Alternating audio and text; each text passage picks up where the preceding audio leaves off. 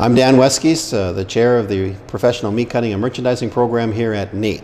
Um, this is located in the School of Hospitality and Culinary Arts. Today what we're going to talk about is dry aging of meats. So I have here before me a lip-on prime rib that is not aged. We, uh, you can tell, it's fresh. Uh, the quality is of uh, triple A. It's excellent quality, good eating quality, but we want a superior eating quality product, and to do that, we have to dry age it. So what we're going to do to start the aging process is we get a, a drip pan with a grate, okay, make sure that it's all clean, and then we just place the product on top of the grate so that any of the juices, which will be few, that drop in will drop away from the meat, and then as the air circulates around the meat in the fridge, it'll start to dry out. It'll get a, a very dark brown and then black color, um, locking in all the juices and uh, letting the enzyme, the natural enzymes, go to work.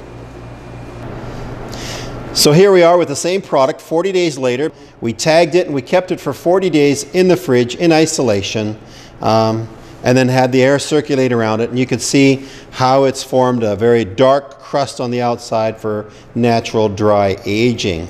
And what the enzymes have been doing on the inside is tenderizing that meat while this crust preserved most of the meat. So what we're going to do is we're going to take all of this dry aged crust off that's formed around the prime rib, okay? So like I said, it formed a nice crust on the outside. It was in isolation for the reason of the, we didn't want to introduce any uh, other bacteria or unwanted bacteria, but the crust keeps unwanted bacteria from penetrating into the meats. Okay, there's only good stuff here. It's dry aging, etc. But there is the importance is that it has to be in a fridge in isolation. So you can't do this in your home fridge. You got to have a separate fridge for this, just for aging. Otherwise, you're going to introduce different floras, different bacteria from all your other groceries. Uh, so now that we have it all trimmed off, we have all the dark age off, all the dried product. You can slice it into steaks or roast it as a roast. We're going to slice this one into steaks about inch, inch and a half thick each. You'll find that with this uh, aged meat, the meat seems to be uh, more dense as the uh, natural enzymes in the meat break down all the connective tissue that are holding the fibers of meat together, giving you a better eating experience, better eating quality.